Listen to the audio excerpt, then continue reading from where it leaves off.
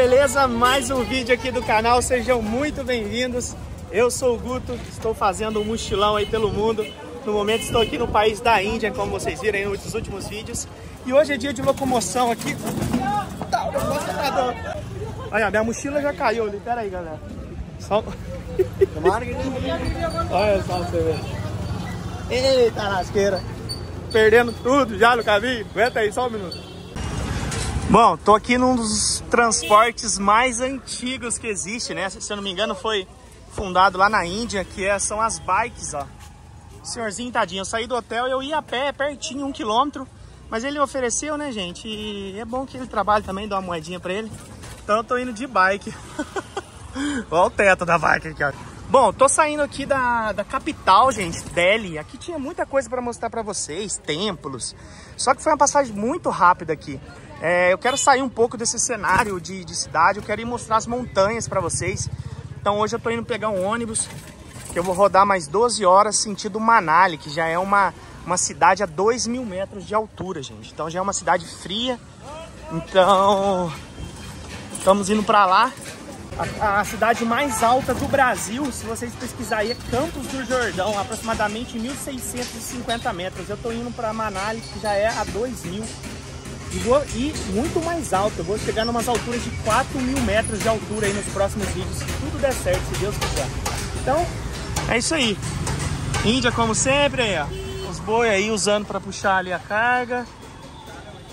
Trânsito, muitos tuk-tuks. E vamos indo. Vamos lá.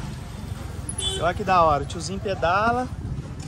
Tem, tem uns desses aqui, cabe, é, as pessoas vêm de duas pessoas, ó. Eu tô sozinho aqui. Vai dar pra de dois. Se eu tivesse a pé, eu tava mais rápido. Mas... Sem pressa. Vamos ver se o tiozinho domina agora, gente. O bicho vai ter que ter torque no pé, hein? Porque, olha lá, tá uma avenidona passando aqui ele vai ter que atravessar. No meio dos tuk-tuks motorizados, moto. Vamos lá, tiozinho. Acelera aí, hein? Mete marcha nesse pedal. Esse povo não come feijão, vamos esse feijão que dá força. Vamos ver se eles vão comer. Ó, vai lá, alavanca, tio. Força, tio, força, força. Vai, tio. Ih, ih, não vai, gente. Olha só. Jesus amado. Vai, tio. Não tá vencendo pedalar, ué. Não tô nem tão pesado desse jeito. Já emagreceu uns 2 quilos na Índia. Olha o carro aí, pelo amor de Deus. É essas experiências que marcam a vida da gente. Ai, ai. Vamos que vamos. Aí, galera, chegamos aqui no meu ponto, ó. Cada pilastra dessa tem um número. Aí a minha é 26, então eu sei que o meu ônibus vai sair daqui. Vou aguardar aqui, minha mochila tá ali. É, tô com uma fome, rapaz. No primeiro vídeo da Índia eu comi esse negocinho que o cara mergulha num molho ali com a mão mesmo, né? Ele fura aqui, joga um caldo aí dentro. Mas hoje eu vou diferente. Eu vi que ele tá fritando uma batata aqui. Olha que linda que tá essa batata. Vou, vou pedir uma porçãozinha dessa batata aqui. É, how much? How much is your 60. 60? Ok. Yes? I would like. Vamos pegar aí. Uma porçãozinha. No, no spice? Spice? Yeah. No spice. More spicy. Ok. No. Little spice? Yeah. More spicy. No spice? Ok. Vamos lá, gente. Vamos comer esse bolinho de batata. É potato? Potato? Yeah, potato. Ah. Vamos ver o que que põe aí. Olha. Olha os condimentos. A Índia é rica de condimento. Nossa, mas tá metendo batata, tá metendo pimenta e fala no spice. Meu Deus do céu. Tá bom, amor, vai dar dor de barriga em mim no ônibus. 60? Na minha cabeça, eu só ia comer uma porçãozinha daquela de batata, que tava linda ali os quadradinhos da batata, não tava? Aí já me jogou essa gororoba aqui. Ah, meu Deus do céu. Vamos experimentar isso aqui agora pra ver. Era só batata que eu queria, cara. Nossa, gente, pimentar demais. Ele falou, falei no spice, eles não entendem que não é sem pimenta.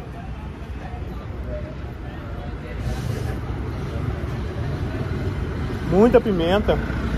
Tá fora. Já vai dar, já, meu nariz já começa a escorrer. Oh, meu Deus do céu. E olha aí o peso que os tiozinhos carregam na bike. Olha ali, gente. Caramba. Vai que vai, ó. Você não tá aguentando pedalar, não. Bom, gente, parece que chegou o meu ônibus aí. Esse aqui ó, não é cama dessa vez, é 12 horas sentadinho ali. Mas vamos que vamos, faz parte. Vamos ver se vou pegar algum companheiro de banco ali. Mas se for sozinho é melhor, né? Vamos ver. E sempre falo pra vocês, né, pessoal? O que não te desafia, não te transforma. É, esses últimos vídeos aqui eu tô sozinho, vocês sabem que eu tô separado do pessoal do Rota Livre, porque eles estão gravando um lugar que eles queriam, eu tô indo para um lugar que eu quero, então não ia dar tempo se a gente fosse pros mesmos lugares, né? Então tô resolvendo tudo sozinho, comprando passagem, ônibus, hospedagem. Né, dá um sofrimento um pouquinho, mas cada hora eu tô desenrolando mais, aprendendo mais, isso que é bacana. Bom, bora entrar aqui então, né? É, meu assento é o número 9. Mas vamos lá. Bastante gente, achei que tava vazio, mas tem bastante gente aqui. Chegou no horário certinho. O ônibus é banco mesmo, não é cama, mas é bem confortável, acho que dá pra deitar aqui um pouquinho. Agora são 5 e meia, a previsão é chegar lá às 5 e meia da manhã. E vamos que vamos. Índia é um país muito grande, gente. Então pra gente se locomover aqui, são, é, você quer conhecer umas coisas assim, é muito longe, são 12 horas de viagem. E nesses últimos dias aí eu tô pegando um ônibus dia sim, dia não, pra tentar chegar no destino que eu quero e mostrar pra vocês.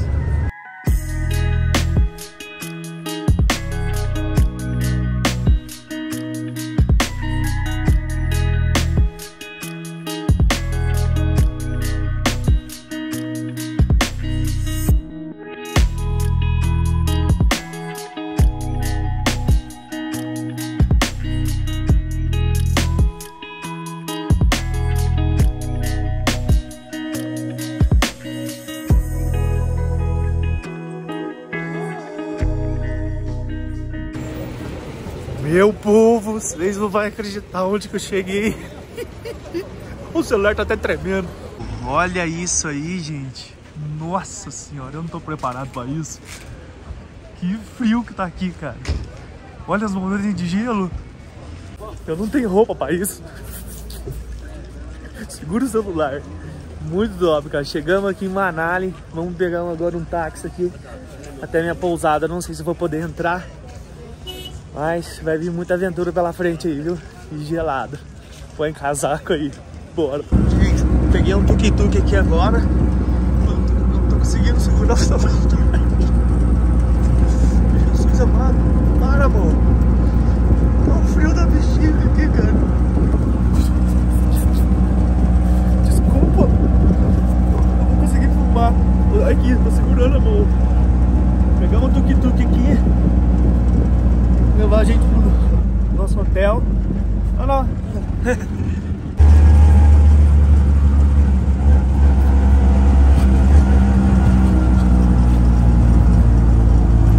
tá menos 2 graus aqui. Menos 2. A altitude é muito alta também. É, tá mais de 2 mil metros já. O ar vai ficando mais difícil.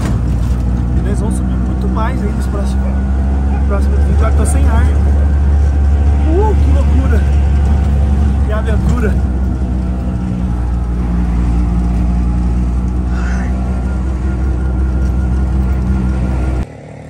Olha isso, gente. Tá parecendo cenário de filme, cara. Meu Deus. É, essa aqui é minha hospedagem. É, foi bem baratinha, foi 24 reais, eu acho, o dia. Um quarto grande pra mim. Vamos entrar lá pra ver. Tomara que possa entrar agora. É... Você viu? Não tava conseguindo segurar meu queixo, cara. Agora aqui deu uma parada. Mas muito frio, tá dando menos dois aqui, cara. Consegui entrar no meu quarto aqui, ó. É, vou mostrar pra vocês, ó. Reservei pelo book 47 reais, duas diárias, tá vendo? Mas aí teve mais uns impostos ali. Deu, acho que 5, deu 26 reais esse quarto aqui, ó, por dia. Banheiro quente, acabei de testar. Eu já vou pular debaixo dessas cobertas aí, gente. Eu tô aguentando. Mas olha só a vista do meu quarto. Olha isso. Olha lá o topo das montanhas. Tá nevando lá em cima, quer ver? Eu vou pegar o celular, fica melhor. Olha só. Que lindo, né? Muito bonito, gente. Parece cena de filme. Meu Deus do céu. Quem diria a Índia ter uns, uns cenários assim, né? Vocês não lá. Gente, a, a Índia, o Himalaia, a cordilheira do Himalaia, né? É uma cordilheira gigante. Ela só não é. Ela é menor que a cordilheira dos Andes que tem ainda. Chile, Peru, Argentina. Mas é uma cordilheira onde tem um, um Monte Everest, né? O Monte Everest é o pico mais alto do mundo e faz parte dessa cordilheira. Se não me engano, está no Nepal. Então o Himalaia pega China, Nepal, é, Paquistão, Índia. São cinco, seis países. E pega a Índia aqui. Então a minha ideia era fazer essa viagem de moto, sabe? Só que não tá na época boa, como vocês viram aí. É, tem muitas estradas que estão fechadas de neve. Então eu vou tentar pesquisar aqui, me informar agora, achar uma rota que dá para fazer de moto aí, nem que seja próximo aqui, para ter essa experiência e mostrar para vocês também. Agora eu vou tirar os kits, tudo aqui dentro da mochila, vou preparar um cafezinho para mim, que tá muito frio, cara. Vou fazer um cafezinho aqui na mesa. Lembrei que eu tinha comprado mais uma brusa lá no Vietnã, não tava nem lembrando. Agora sim, ó, deixa o frio vir. É, alegria de pobre dura pouco, né? O cara chegou, bateu na porta do meu quarto e falou que não era aquele quarto que eu tinha reservado, era um mais simples. Então essa é a vista do meu quarto agora. Outros quartos. Não tem montanha, mas tá bom. Kit cozinha já tá preparado aí, meu povo. Ó, tô esquentando uma aguinha pra fazer um café. Eu já pus o feijãozinho de molho. Pessoal, eu tô ficando sem ar, vocês acreditam? Eu acho que é altitude. Tá ruim de falar. Aí Vamos tomar um cafezinho brasileiro, já tem uma suquinha ali, um alho. Só que eu não tenho arroz. Eu vou tomar esse café e vou sair para me comprar um arroz, uma saladinha. Que hoje eu quero comer uma comidinha brasileira, faz tempo que eu não como. E é isso aí, vamos esquentar a água aqui. A água tava parecendo que tá formando gelo ali. Vai demorar para esquentar. Dá uma torada no fogo aqui. Não vou coar café na meia dessa vez, tá? Pode ficar tranquila. Mas também não é um coador convencional. É, eu comprei um negócio da GoPro uma vez, uma, um case, e veio essa, esse negocinho aqui, ó. Eu dei uma, abri ele, testei ele no banheiro, lavei com sabão. E tá passando certinho a água, acho que vai coar certinho o café. É só eu colocar ele no copo aqui, ó. Olha que legal, ó. Tá vendo? Aí dobrar aqui as beirinhas. Pronto. Só. Tará, meu coador de café. Ai, meu Deus. Vamos lá. Bom demais. Louco pra tomar um cafezinho. Nada melhor que um cafezinho pra esquentar o corpo, né não? Nesse friozinho. Hum, delícia. Não tem nada pra acompanhar, só tem umas castanhas. Aí eu vou... Bom que é proteína também. E não tem frescura. Nunca... Nunca experimentei esse castanha com café bom. Deixa eu ver. Hum, pera aí, agora vai o café. É bom. Vou ficar ligadão. Choro pau. Vou tomar um cafezinho, vou sair, mostrar pra rua pra vocês, tentar achar um mercadinho. Beleza? Então até daqui a pouco. Já tô aqui fora novamente, ó, tá pingando, tá dando uma chuvinha. É, bora achar alguma coisa aí então, mercadinho. Parece que é uma vilazinha onde eu tô, não é no centro aqui não. Tá um quilômetro do centro, mas vamos procurar alguma coisa aí. Vamos ver se tem um grão, vende umas vendas. Vamos conhecer aqui a minha vila. Ah, eu tenho, vou ficar uns dois dias aqui meio que parado, acostumando com o frio, né? Faz muito tempo que eu não, não pego esse tipo de, de clima. Pro corpo acostumar antes de eu arriscar alguma aventura aí. A galera aqui acendendo um foguinho. Olha que delícia. Olha quentinho. É da hora. Vamos ver. Frutas já, já achei frutas. Ah, buzinho. Aqui é uma espécie de restaurante, café, chá.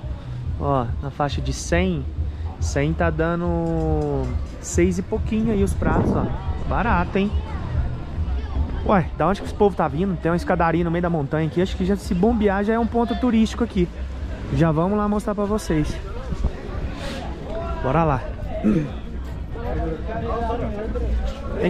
Thank you. Olha que legal, tem uma espécie de montanha russa aqui 3D, ó. 9D. Tá moderna essa Índia, hein? É, mostrei pra vocês também que falam sobre a comida, né? Mas se você não gostar, gente, possui muitos tipos de grãos aqui. Olha que interessante, olha. Esse aqui eu já comi, uma delícia, castanhas. Ó, então, Fome não passa. Eu acabei de comer a castanhinha aí no café da manhã, vocês viram, né? E é baratinho. A galera tá comendo um milho assado aqui também. Nossa, milho assado é muito bom. Gostei. Se achar, eu vou comprar um. Não sei nem onde eu tô indo. Mas olha que lindo. Não parece cenário de filme mesmo, pessoal? Muito da hora, cara. Que sonho que eu tô realizando aqui, hein? Meu Deus. Tem alguma espécie de templo ali. Vamos, vamos subir lá. Como a altitude voga, gente. Eu não tô tão fora de forma assim. Eu subi 200 metros aqui. Meu coração já tá na batedeira. Jesus, cara. Eu tô a 2 mil. A minha intenção é subir pra 4, 5 mil, mas nessa época do ano acho que eu não vou conseguir. O pessoal que faz essa viagem que eu tô falando pra vocês é lá pra julho, agosto. Olha a altura dessas árvores. E é um templo. Tem um templo aqui. Acho que é gratuito a entrada. É um parque, né? Nossa, muito alto as árvores, olha. Lindo.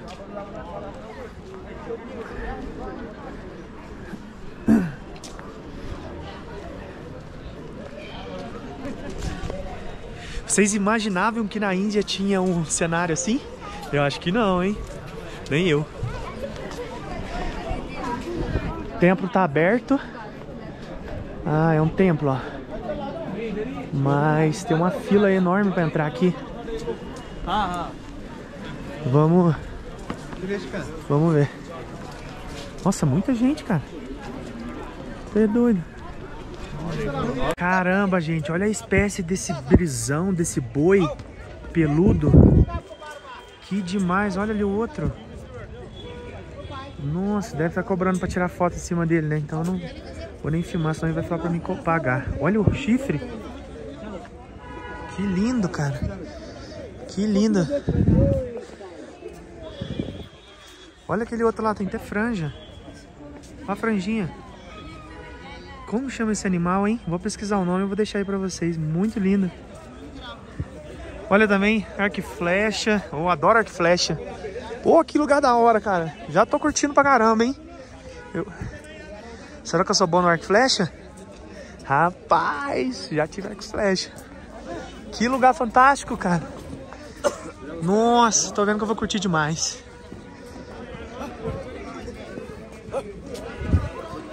Ah, mas não tem graça não, filho. Isso é pra criança. É uma irmã andando Ah, não. Se fosse um camelo e tudo vai, mas isso aí é pra criança. Tipo, são baixinhas. Olha a pelagem dele.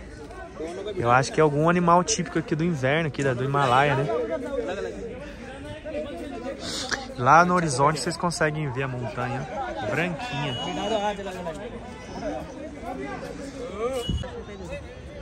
Já tem uma galera ali tirando umas fotos, olha. Pô, já quero ter um look desse, pô. Já quero um look de montanha. Olha o coelho lá na mão da mulher. De verdade o coelhão, ó. Tá bicho gordo. Rapaz. Que loucura. Mas isso aí acho que não é indiano não. Não sei qual que é a da religião ali, da, da cultura. Tá fazendo até coraçãozinho na mão. Isso aí é Brasil, hein? Essa do coraçãozinho assim é bem brasileira, hein? Tampa a orelha, tá frio.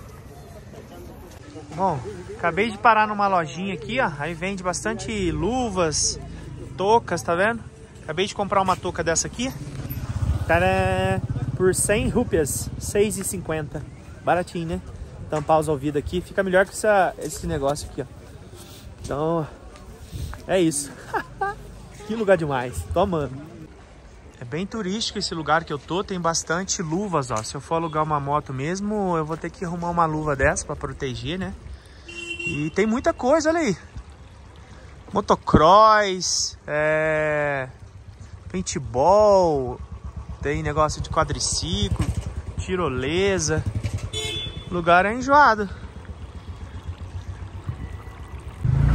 Ó, e aqui tem a Royal, gente, ó. Imagina eu com uma dessa aí fazendo um Himalaia de moto, rapaz. Oh, isso aí vai ser um sonho, cara. Olha que linda essa, mais retrô, né? Tem a Himalaia mais estradeira, off-road, mas essa é mais retrô. Será que eu gosto mais dessa? Que linda. Vamos ali no arco, arco flash ali, vamos ver se eu sou bom de mira.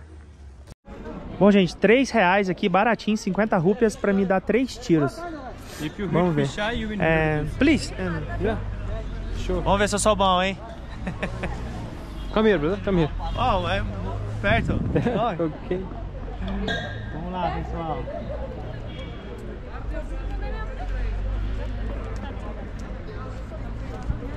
Pull, brother. Ih, tá fraco, hein? Olha lá, ó, já teve abaixo. Tô tendo que pegar o jeito aqui, pera aí. Ah, não é possível, cadê o atirador aqui, ué? Não tem alça de mira, não sei onde é a alça de mira aqui, mas...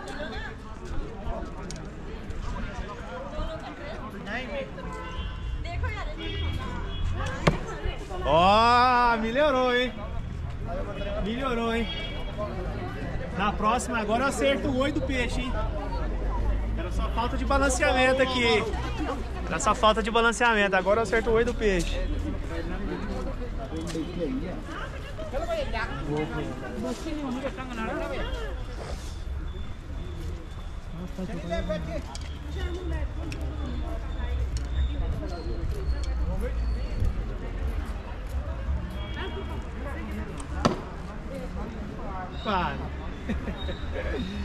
Ai. Muito da hora, hein? Fome eu já não passo nas montanhas aqui, hein? Fome eu já não passo. Comprar um arco e flecha dele, vamos caçar uns coelhos aí. Brincadeira. Deixa eu acertar aqui. Muito da hora. Bom, eu saquei qual que é da parada aqui, ó. Eles alugam as roupas, tá vendo? Pro casal, pra mulher, a cestinha com flores. Aí é aluguel. Aí você aluga, tira a foto aí pra, pro seu Instagram. e é isso. Pessoal, quem não me acompanha lá no Instagram, posto conteúdos diferentes lá, muitas publicações, fotos, reels, então acompanha lá depois do vídeo, Aventuras de Guto. Vocês conseguem saber lá também em tempo real onde eu tô. E deixa também aqui aquele like, aquele comentário para fortalecer. Compartilha esses vídeos aí, gente, no- nos grupos de WhatsApp. Dá uma força pra gente poder atingir mais pessoas e assim viajar o mundo aí, mostrar todas essas belezas para vocês. É nóis, obrigado, gratidão. Bom, tem um templo muito doido aqui, né? E se tem muita gente querendo entrar nesse templo é porque deve ser bem interessante aí. Então eu vou entrar na fila aqui também, tá bem grande a fila, ó. Tomara que não demore muito, mas deve ser interessante. Tem uns chifres ali, ó. Umas coisas bem diferentes, ó.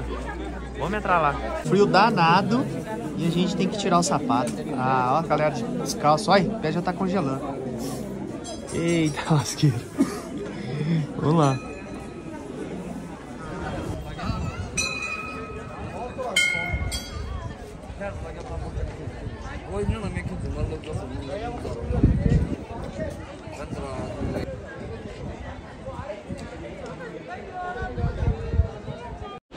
Bom, pessoal, queria levar vocês lá, mas lê aí, não sei se dá pra vocês lerem, ó.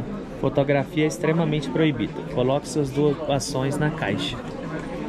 Não vai dar pra filmar lá dentro não, hein? Ah, que sacanagem, queria filmar.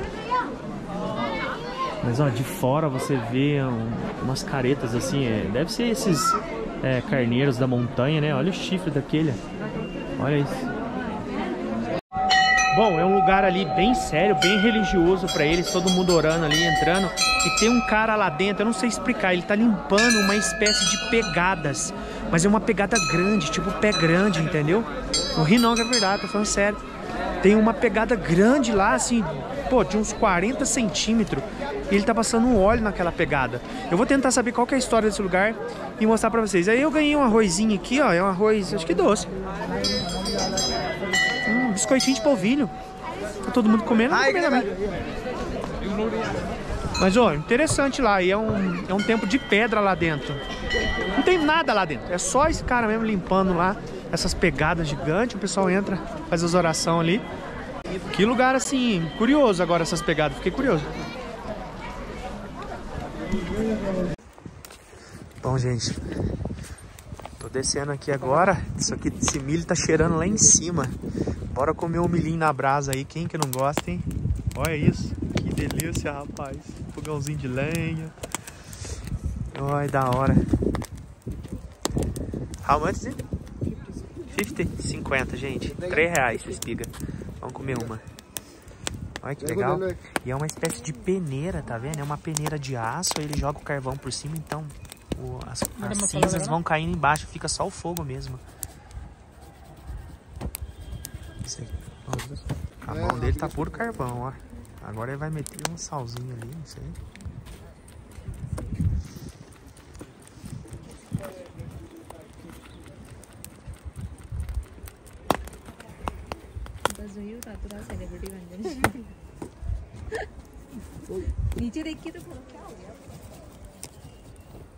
Laura?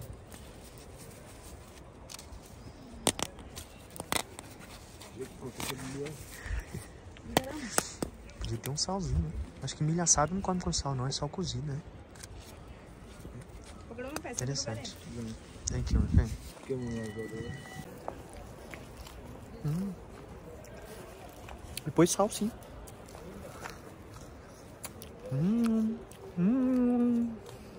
Que delícia! Meu Deus, maravilhoso, rapaz.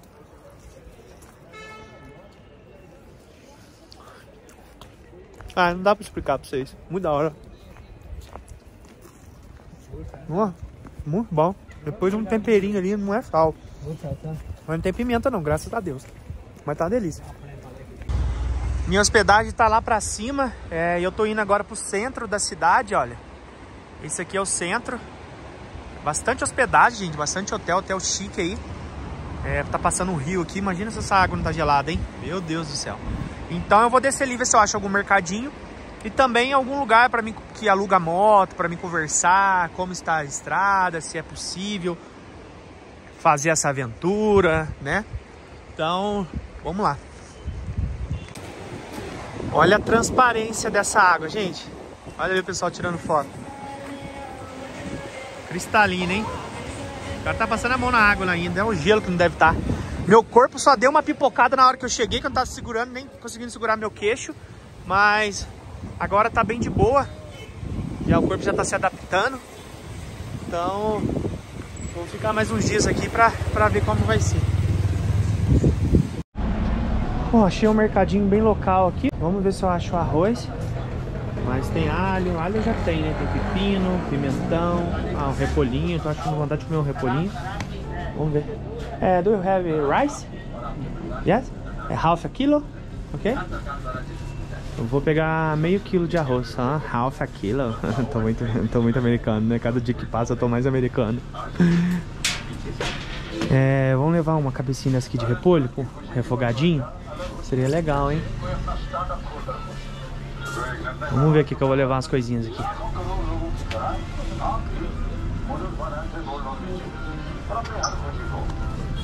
Vamos ver o que mais que tem aqui, né? Ah, olha aí um pão. Agora vou levar um pãozinho desse. Deixa eu ver se tá molinho. Tá meio duro, gente. Hã? Half that, yes.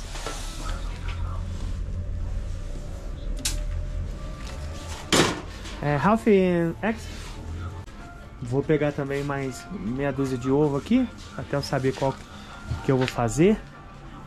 Agora o pão que tá meio meio durinho, né? Mas eu acho que é, é pão mais pão natural deles, não é esses pão muito meio caseirão, sabe? Mas se tivesse uma margarina aqui, aí eu ia comprar esse pão. Do you have butter? É, butter? Acho que é manteiga, acho que é butter, butter. É butter, butter, não sei. Falei ali, vamos ver se ele entendeu. É, no small? Small? Ah, ok. Ele me dá um pacote de manteiga, mas é lá dentro que vem. Oh, perfect. Vamos levar, é manteiguinha, gente. Da hora. Então vou levar um pãozinho desse também. O ovo. É, uma, um cabecinha de repolho aqui, deixa eu ver. Fazer um repolhinho. Uma cabecinha pequenininha. Eu não sei como é que é repolho em inglês, tem que pesquisar. Aqui. Deixa eu ver mais alguma coisa. Acho que dá, né? Arroz, feijão, repolho e ovo. Ih, vai dar uma peidorreira. Sorte que eu tô sozinho, né? então bora, pagar aqui. Ó a galera atravessando ali, ó. Na, na base da tirolesa. Rapel, não sei lá. É. Todas essas coisinhas que eu acabei de comprar ficou em 14 reais, tá? Gente, como aqui é um lugar bem turístico, vocês viram, bastante gente, tem muitos restaurantes de todos os tipos, não só indiano. Vi pizza, vi é, cafeterias top ali com, é, da Ana, mas eu prefiro fazer a minha comidinha aí pra me matar um pouquinho da saudade de casa, do Brasil, de Minas. Então, é isso. Vamos voltar pra casa agora. Olha ali que interessante, olha. Olha lá, vai quase relar na água, olha. O povo é sem juízo, olha. Estoura a corda ali, pronto, já quebra a coluna dentro da água ali. Não... Olha isso. Povo doido. Bom, gente, agora acabei de achar um lugar aqui que aluga moto, ó. Então, Motorbike for Rent é para alugar, né? E tem aqui os pontos turísticos que eu falei para vocês, ó. Essa lei aqui, Lé, tá dando 200 km daqui, só que a altitude é 5 mil metros. Eu não sei como tá lá, entendeu? Talvez esteja muito gelo nessa época. Tem esse outro ponto também aqui que é bem conhecido. Então, não sei, porque olha lá como tá a montanha lá, ó. Então, é, tem que estudar certinho. Amanhã eu vou vir aqui estudar.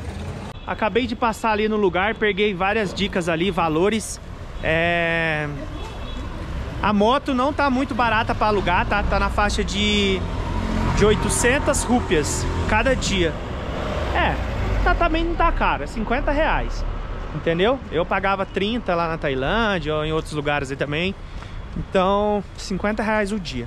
Os principais locais aí, ele falou que tá, tá fechado por conta da neve nas estradas, bloco de, de neve, né?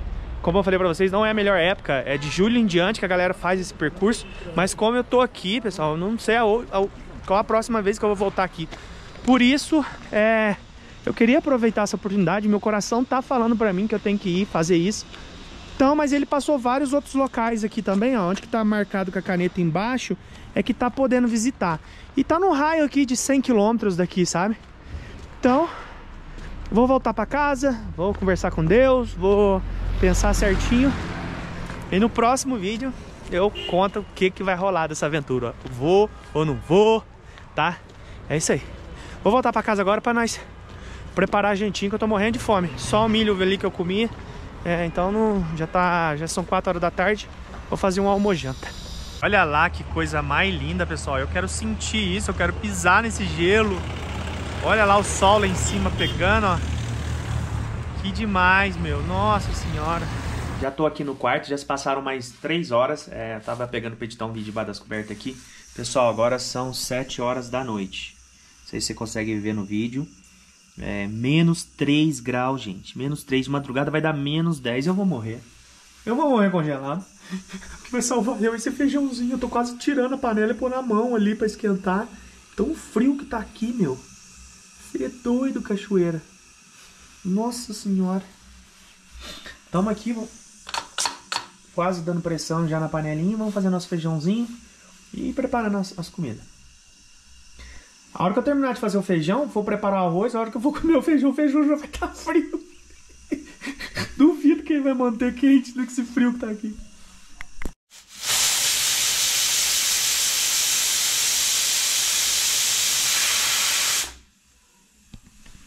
Vocês viram isso, gente? Não, parece que fizeram uma orocubaca comigo com panela de pressão, que não é possível, eu não dou certo com panela. É, já, segunda já. Você lembra a última que eu comprei? Eu já troquei, isso aqui é outra. É, a, as panelas na Índia, a pressão dela não é que nem a nossa, ó. Ela vai juntando aqui, mas dá um medo, sabe? Esse negócio de explodir, ó. Ela vai juntando o ar lá dentro, ó. Ela tá na pressão já, ela já entrou na pressão. Ela vai juntando o ar lá. Quer ver, ó? Aí ela junta o ar aí e quando vê ela vai libera. Ela não é igual a nossa, fica tchic, tchic, tchic, liberando aos poucos, ó. Vai liberar, ó. 3, 2, 1, ó.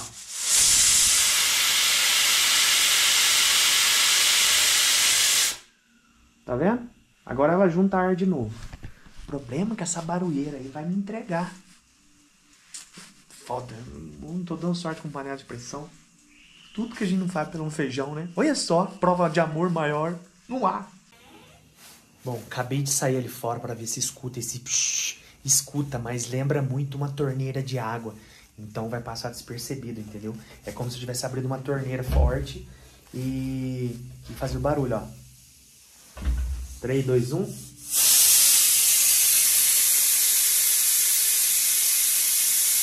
Brincadeira. Vamos vai esquentar um quarto com esse Esse ar quente que tá saindo. Eu só falo uma coisa pra vocês, meu povo. Pode fazer menos 50 graus. Eu tendo o meu feijãozinho. Eu sou a pessoa mais feliz do mundo. Repolinho, refogadinho também. Uma delícia. Temos aqui o arroz. O arroz tá meio amarelado. É porque o arroz deles era integral. E dois olhudinhos. Vamos pôr no prato pra ver como é que vai ficar. aí, ó, pra dentro. E assim então ficou essa coisa mais linda do mundo, saindo fumacinha. Ai, gente, que desejo, cara. Não tem comida melhor que a nossa. Aí comprei uma coquinha aqui para acompanhar. Mas nada. Nem tudo deu certo. O que que acontece? Comprei essa batata palha aqui, ó. Joguei a batata palha aqui, uh, experimentei. Batata palha tem pimenta. Eu entro a batata pra vocês cheirar. Batata tem pimenta, cara. Comi aqui e hoje não, batata. Pimenta hoje não. Tô fora. Eu só quero isso aqui hoje, ó. Bora comer. Sem desculpa aí de cozinhar, hein, gente? Tem gente que não gosta de cozinhar na própria casa, né? Não gosta de cozinhar. Olha eu num quarto, fazendo uma comidinha tão gostosa dessa aqui. Hum. E usando tudo que tem, né? Nossa, esse repolho tá maravilhoso. Já que nem tem bacon pra soltar a gordurinha. Ah, muito bom, cara. Hum, meu Deus do céu, cara. Maravilhoso. Ai, cara, obrigado, meu Deus. Ai, como eu tava precisando. Hum, feijãozinho. Essa comida aqui pra mim vai dar pra umas três refeições. Então vai, vai render bastante. E nesse frio que tá, isso aqui é a própria geladeira, não estraga, né? Menos 3 graus. É uma geladeira. Uh, muito bom, muito bom. Pessoal, então é isso aí. Eu vou papar aqui com calma, saboreando essa maravilha. Esse vídeo vai ficando por aqui, espero que tenham gostado. Não percam os próximos vídeos, hein? No próximo vídeo eu vou... Amanhã eu vou pensar o que eu vou fazer. No próximo eu vou vir com muita ação aí. Se Deus quiser, se for dar tudo certo. E então não percam essa saga, hein? E compartilhe esse vídeo para dar uma força pra gente. Manda nos grupos aí, curte, comenta. Forte abraço, fiquem com Deus e chora pau. E quem falou que não vai ter sobremesa? A sobremesa aí, rapadura, daquele vídeo que eu comprei, ó. Rapadurinha tá durando. Hum, tô comendo sozinho. Mas muito boa a rapadura. Uh, rapadura doce, mano, é mole não.